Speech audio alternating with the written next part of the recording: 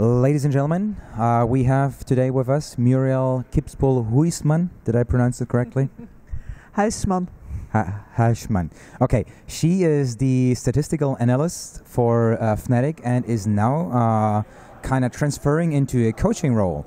And well, Fnatic, you didn't do so well this tournament. What was it?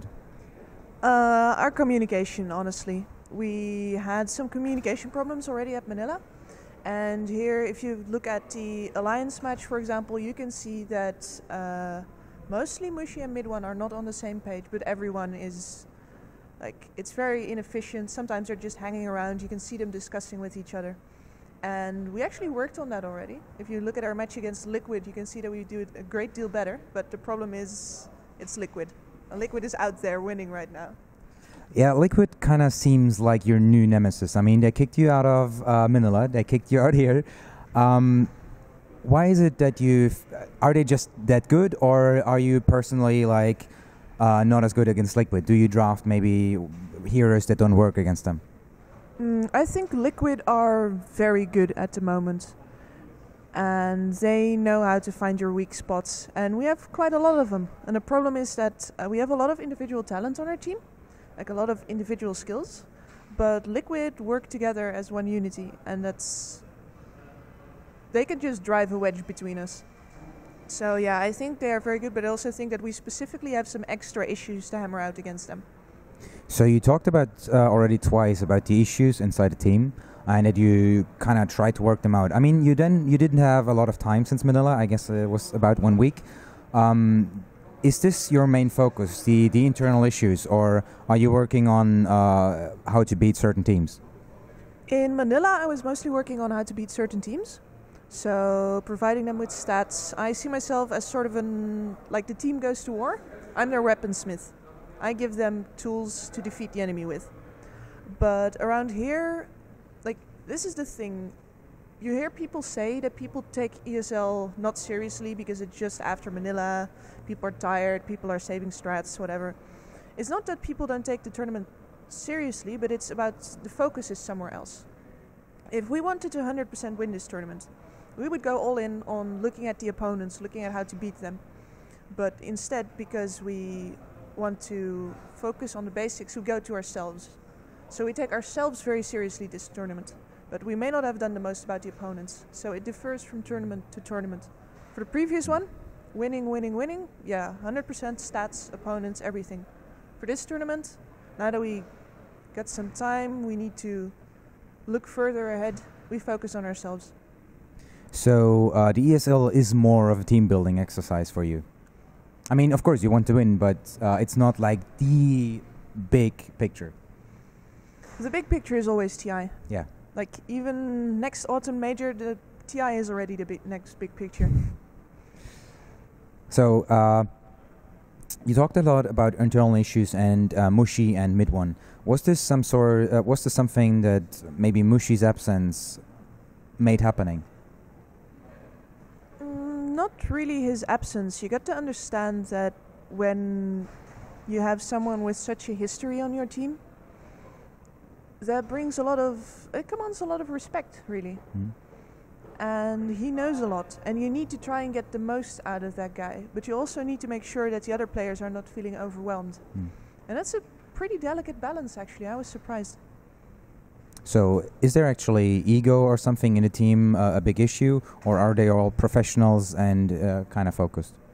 i was surprised at how professional they were yeah they're very aware of their own issues like if i ask them what they think they did wrong they will usually come up with the same things that i did already they know what to do but perhaps they do not have the most experience in well i said that wrong they know what goes wrong but Mhm. they do not know how to fix it Yeah, but this is this is kind of your job. Um, I I'm guessing as a statistical analyst, uh, you are not only providing stats about the enemy teams, but also about your team. You're just looking at maybe we can farm more efficiently. Um, how do you actually do that? mm, well looking at our team themselves is actually how i got the job Hmm? It's uh, I made a document detailing one of the the other teams, And they were so impressed that they were like, "All right, let's Mm. let's do us now." And by the time they actually hired me, they'd already made changes Mm. according to the things that I'd said. So something that I could see, for example, is that we do not get enough farm out of our Mm. lanes compared to the others. Like we consistently get too low CS, for example, or we might uh, use a lot of smokes without actually getting kills Mm. or towers, or we might uh, buy way too many sentry wards. DJ. Uh, so you basically you go to the players and say you only have 400 GPM. Step the shit up. Not really, not really, no. It's a team effort. And like if a player gets consistently low GPM, we have to ask ourselves, is that because we would need something else from him than farm? Mm. Or do we need farm and are we actually is it actually wrong that he doesn't have it? Is there there's a Mm. difference. Yeah, I mean you can you can starve players. Uh, I think we saw that in a, in a liquid game uh, where uh, was, was really really poor and still made the uh, made the plays. Al- although he generally plays uh, plays more of the forward position, and we've seen strats, uh, especially involving maybe a Doom, where you starve your support but come back with uh, with four carries. Um, in terms of the opponent, what do you actually look at uh, on their side? Do you look on uh, at early rotations? Maybe when do they march out or anything like that? Yeah, for example, LGD had a really, really, really um, obvious smoke timing. They always smoked Mhm. at 10 minutes and 30 seconds. Oh, really? Yeah, yeah, yeah. It's like not perhaps on the second, but No, no, not on the second, but 10 and 11, they smoke three. And it Ah. depends on, like, if they already had a mech on Xiao 8. so if they have a Mek on Xiao 8, LGD will smoke out at 10:30. Yeah, well, that is actually quite interesting. With his two supports. Which is the most unpredictable team right now? Because because you said LGD was really uh, predictable, and which which is the most unpredictable? The like the less experienced the team is, the Yeah. more they're flying by the seat of their pants. Yeah. Alliance is really very predictable. They play a really tight game. they got it. They get that shit down. I mean, they have they have termed uh, they have coined the term rat Dota, and th- this is what they played for a long time. They don't play No, they they, they didn't play it anymore. But you can still see if Alliance is behind. They spread out. They farm the map. They try to split push the lanes. And so they, do have their style. incredibly well. And you can also see kind of Liquid. Uh, they have this ganking style. In games, they find the kills. They are now playing outside with a Ricky, a Lifestealer again against uh, against OG. So are really only new teams unpredictable, or can some some teams maybe uh, catch you off guard? Mm, off guard, like for example, with hero picks, it's usually not going to happen because I look at all of them. I look at what they can play, what they Mm. want to play. The only way they predict, is, they surprise us with a hero pick, Hmm? is if they play something that they're not comfortable with and that Mm. they haven't actually practiced. Hmm. Because otherwise, I'd know. Hmm. But in terms of like a big team doing something surprising, not really.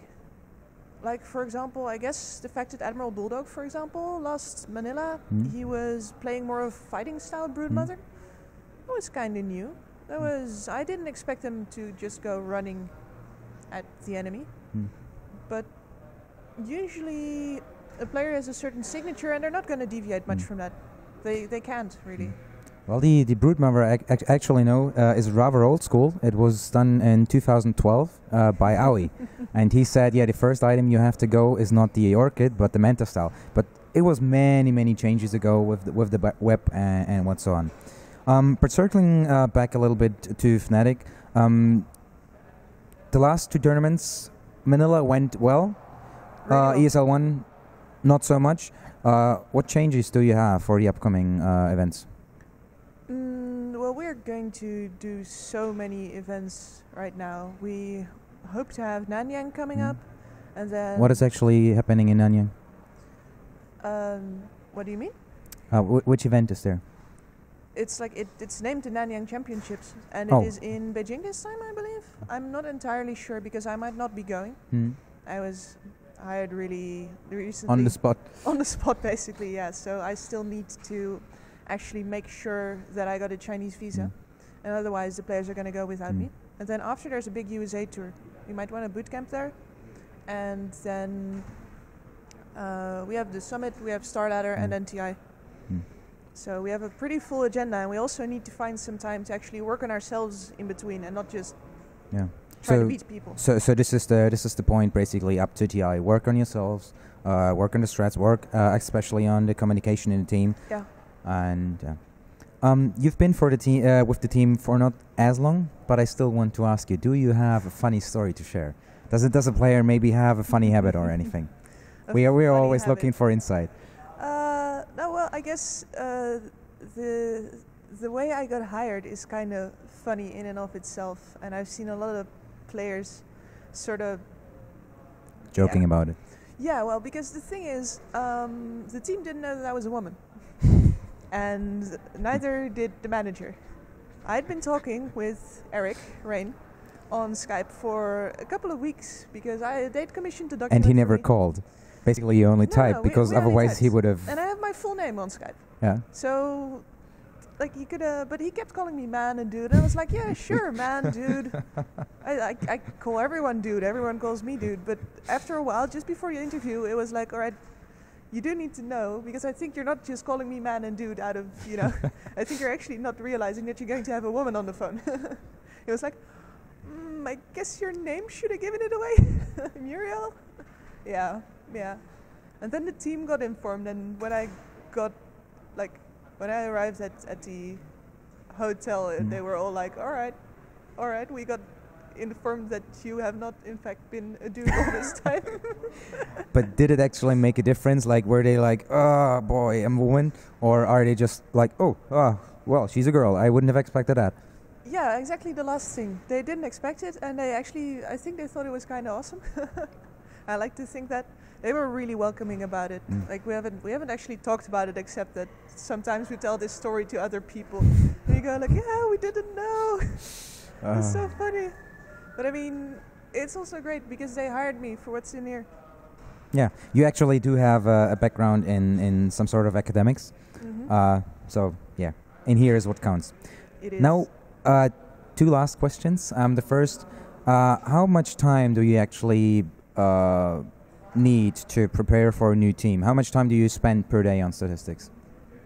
During the Manila Major, Yeah. I probably spent like because you have a new opponent every two days. Like I had two days to prepare for the group Mhm. stage, and then after the group stage, two days to, to prepare for the next opponent. Um, I'd like to spend about eight to ten hours per opponent. I, I did not get to do a lot of sleeping. No sleep for those who work in esports. Nope. Okay. Um, I would wrap this interview up. Uh, you were amazing. The que- uh, the answers were amazing. Now, do you want to give any shout outs, any fans, Yeah. Um, sponsors, like ad- Sponsors. advertise? Uh, I mean, you, you can you can you can use uh, some some paper and like yeah, hire us, hire us. We need money. No, uh, shout out to to Kart Soda. He gave me like he gave me the courage to go show my stuff Mhm. to the world, and it worked out. It worked out so well. And shout out for the team for just being awesome and actually listening to me, even though I'm an incredible noob. Ladies and gentlemen, this was Murielle Kipspul Huisman. Huisman. Hesman? Huisman. Huisman. It's like Huisman I really try. I can't do it. And follow her on at Kipspul at Kipspul, yeah. and expect more to come.